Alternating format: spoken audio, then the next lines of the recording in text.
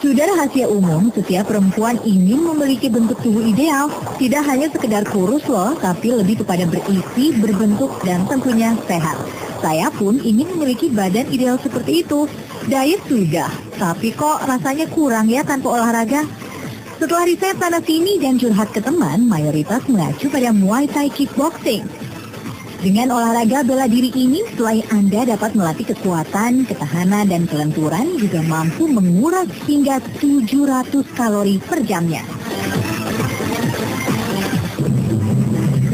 Halo Mas. Pasti hari pertama saya latihan uh, Thai boxing ya, atau Muay Thai ya, bahasa lainnya. Nah, mungkin bagi para pemirsa yang belum tahu atau yang uh, ingin tahu sebenarnya Muay Thai itu apa sih? Eh, Muada itu eh, bahasa lain dengan Muada ya. Yang katanya saya boxing kan. Hmm. Jadi saya itu eh, olahraga bela diri khas Thailand. Hmm. Yang apa? eh, itu bela diri aktif ya bang. Jadi nggak ada jurus, nggak ada satu titik dari yang lain. Hmm.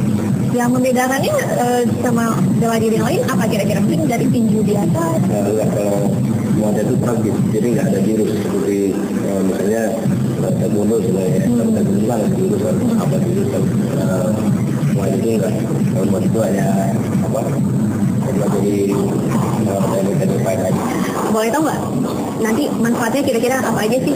Makanya banyak ya, kalau untuk di kelas itu semuanya kebanyakan kalau di kelas itu berat. Menurunkan berat badan. Eh, Kalau untuk di eh, kelas uh, Muay itu buat fight Lebih ke teknik gitu ya? Oh, Oke deh. Mas, sekarang saya udah boleh join gitu? Oh, boleh boleh. Mhm. Langsung ganti aja. Saya ganti pakai dulu ya? Oh, Oke, oke. Sip.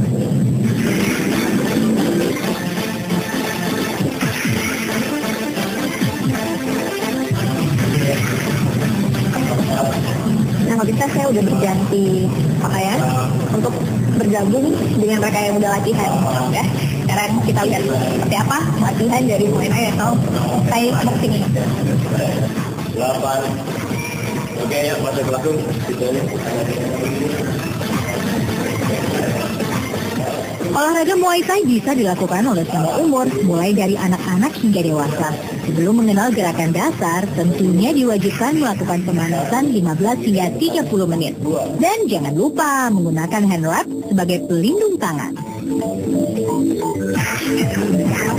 Aku pengen tahu, tadi itu kan eh, gerakan-gerakan basic dari eh, Muay Thai. Muay Thai itu apa aja sih? Boleh dijelaskan? Eh, misalnya begini ya, jab ya. jab, straight, hook, kiri kanan, uppercut kiri kanan, elbow, elbow, horizontal elbow ada tiga ya, uppercut elbow dan eh, down elbow ya, bawah ya. Nah, pukulan, pukulan, pukulan. Ini juga pukulan juga ya, tapi itu eh, pakai pakai ikut ya, pakai elbow ya. Eh, kalau kaki ada push kick ya ada knee ada knee juga ada low kick ada middle kick yang sasarannya ke pinggang terus high kick sasarannya ke kepala itu bisa melatih atau Menguasai. otot-otot apa aja yang yang bisa kalau otot kalau otot sih semua semua otot kena semua ya kena semua ya. dari apa dari atas sampai ke bawah kena semua. Tapi lebih fokus ke tangan atau ke kaki ya? Kalau muatnya lebih banyak tangan dan kaki. kalau muatnya itu doyan kaki ya doyan kaki ya.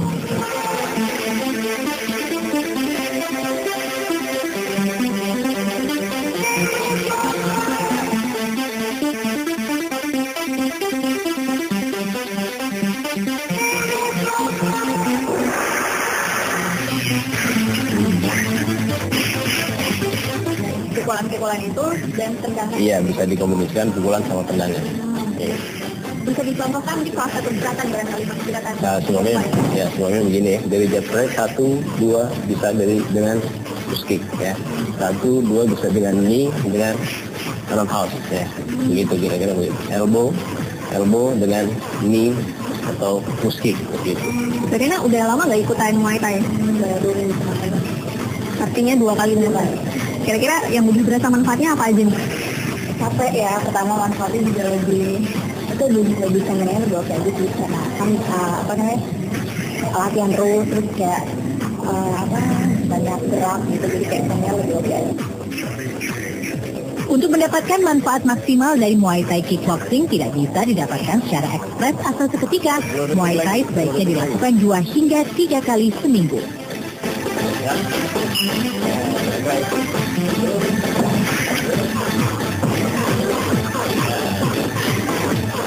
Nah, pemirsa ternyata latihan Muay Thai atau Thai boxing ini memang cukup uh, menguras semua energi yang ada di dalam tubuh. Selain bermanfaat untuk menjaga stamina, ternyata ini juga bermanfaat untuk pertahanan diri atau defense, terutama sebagai seorang perempuan.